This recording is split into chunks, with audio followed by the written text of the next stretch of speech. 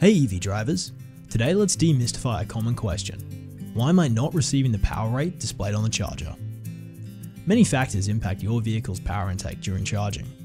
Your EV's state of charge, or SOC indicator, displays how full your battery is, like a fuel gauge.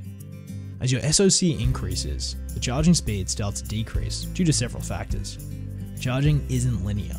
EVs follow a curve, charging faster at the beginning when the battery is more depleted, but slowing down at higher SOCs to protect the battery. Charging speeds also vary by vehicle, battery type, and battery temperature. Not all manufacturers design their batteries to accept 200 kilowatts or higher. In fact, the Chevy Bolt EV tops at about 56 kilowatts, whereas the Ford Mustang Mach-E tops at about 107 kilowatts.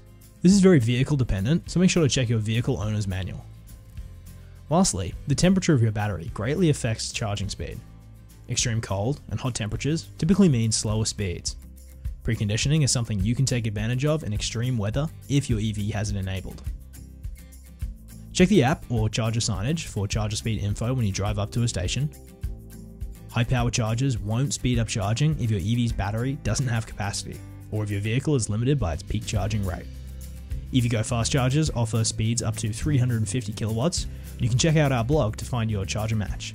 Check out the charger screen or charger monitoring screen in the EVgo app to view your charging session data.